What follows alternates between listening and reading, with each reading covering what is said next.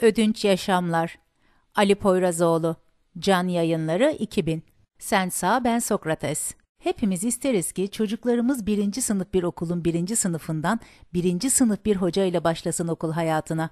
Böyle şanslı çocuklar sınıfları kolayca geçer, bir sınıftan ötekine kolayca atlar, sonunda ipi göğüsler ve sınıf birincisi olurlar. Kendi sınıfının bilincine varıp mutlu bir yaşamın kapısını aralamaktansa sınıf atlayıp bir üst sınıfta cam kenarında oturmak daha tatlı gelir nedense.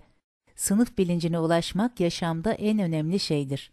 Daha ilkokulun birinci sınıfındayken sınıfımızın bilincine varmamız, bizden daha aşağı sınıftaki insanların çocuklarıyla oynamamamız gerektiği öğütlenir. Herkes ait olduğu sınıfın insanlarıyla kaynaşmalıdır.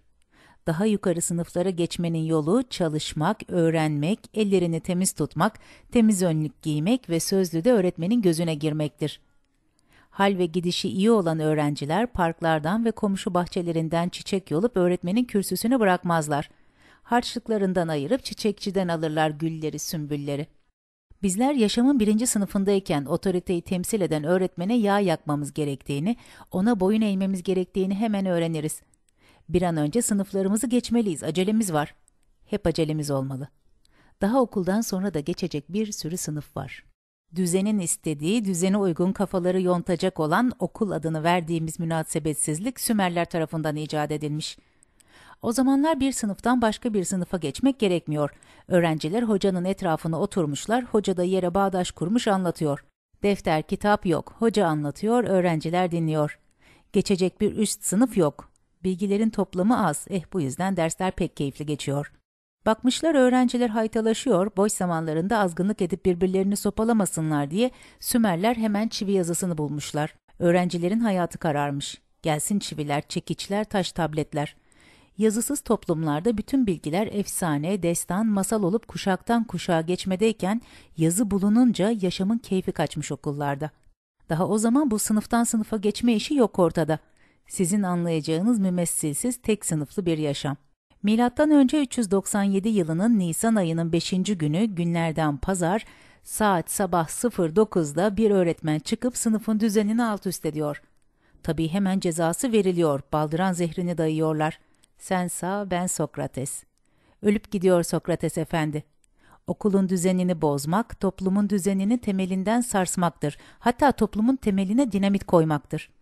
O zamanlar daha dinamit bulunmamış derseniz ben de size derim ki işte adam bulmuş ama kimseye söylemiyor. Toplum daha ilkel toplum o zamanlar. Vahşet. Ne dar ağacı var ne kurşuna dizme ne elektrikli sandalye. Vahşet çağı canım adama baldıran zehrini içiri veriyorlar. Peki suçu ne heykelleri sakallı bu herifin? Efendim, bu kendini bilmez adam sözlü denilen sınav biçimini icat etmiş. Bu Sokrates denilen Yunan tohumu konuşmaya meraklı. Karısı da cadalozun teki. Adam ne işe girse orayı basıyor, rezillik çıkarıyor. Adam devamlı işten atılıyor. İşte kadın adamı vezir de eder, rezil de gerçeğiyle tarihte ilk defa böyle karşılaşılıyor. Sokrates çaresiz seyyar okul işine giriyor. Öğrencileri topluyor etrafına, başlıyorlar çarşı pazarda dolaşarak ders yapmaya. Adam öğrencilerle çayır, çimen, dere tepe dolaşırken bir devrim yapıyor. Öğrencilere soru soruyor, cevapları dinliyor. Birlikte düşünmeye başlıyorlar, öğrencinin zihni açılıyor. Zihin açılınca ne oluyor?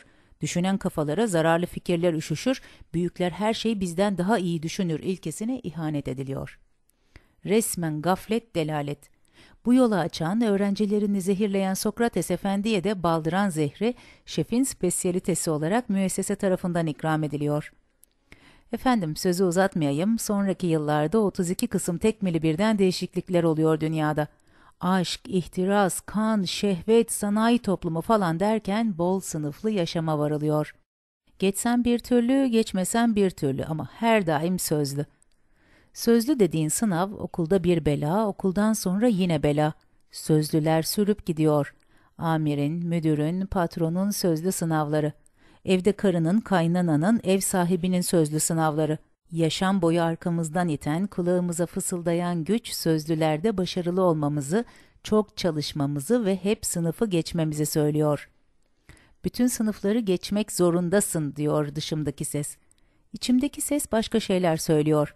En önemli ders olan hayat bilgisi ancak hayat okulunda öğrenilir. İlle de sınıfını geçmek zorunda değilsin. Güzelleştir sınıfını, otur orada.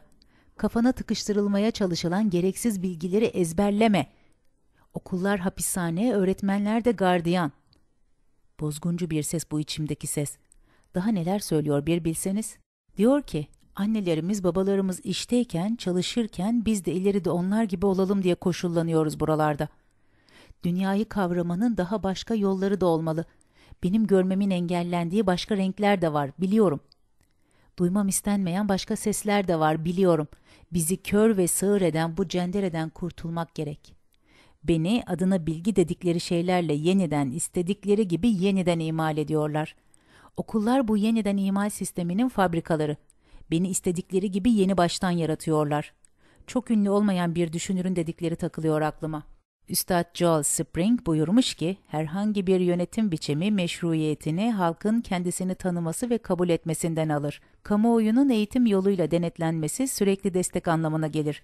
Dolayısıyla insan aklının tam olarak gelişmesinin okul duvarları içinde engellendiği herhangi bir toplumda despotizm ve haksızlık rahatlıkla var olmaya devam edebilir.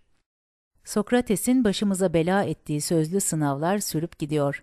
Hep birilerinin karşısında ağzımız kurumuş, ellerimiz sıkılı, boş bakışlarla kekeleyip duruyoruz. Çalıştın mı? Elektrikler kesildi, çalışamadım hoca. Hocalar dört bir tarafı sarmış. Sokrates Kemal Hoca, Platon Ahmet Bey, Kant Necmiye Hoca, Enflasyon Ali Hoca, Bakkal Süleyman Hoca, İmam Selami Hoca, Kaynana Salime Hoca, ev sahibi Temel Hoca, patron Özcan Hoca. Habire soruyorlar, çalıştın mı? Cevap aynı. Elektrikler kesildi, çalışamadım hocam. Biliyorum beni sürekli sınıf geçmeye zorlayan, hep arkadan iten bu güç oyalayıp oyalayıp öbür dünyaya geçerken verecek diplomayı ve mezar taşıma nihayet mezun oldu yazacaklar. Peki ne not verirler acaba? Orta, iyi, peki. Hangi dereceyle mezun olacağım? Hangi dereceyle mezun olacağız? Galiba aynanın karşısına geçip kendi kendimize bir sözlü yapmamız gerekiyor. Bazı şeyleri sormalıyız cesaretle ve de yanıtlamalıyız. Hadi bakalım kendinize ne not verirsiniz? Hep sınıfları geçtiniz mi yoksa ikmale mi kaldınız? Hatta bilerek, isteyerek aynı sınıfta mı kaldınız? Hal ve gidişiniz nasıl? İyi mi bu hal ve gidiş? Hocalar uzaklarda, kara tahtalar geçmişte. Ama neden hep kara tahtanın önünde gibiyiz? Bu yaşam boyu kara tahtanın önünde olma halini okulda mı çaktılar içimize? Hadi, hadi bakalım not verin kendinize.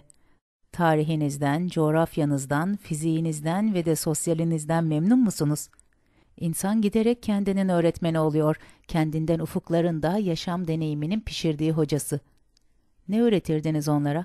Ne süzdünüz, ne damıttınız yaşamdan. Hadi bakalım geçin tahtaya, sözlü yapın kendinize. Sorarlarsa çalıştın mı çocuğum, ezberledin mi, belledin mi diye. Hocam elektrikler yanıyordu ve ben inadıma çalışmadım deyin. Hiç olmazsa bir kere. Ali Poyrazoğlu 5 Nisan 1998 İstanbul Seslendiren Ayşegül Kalkan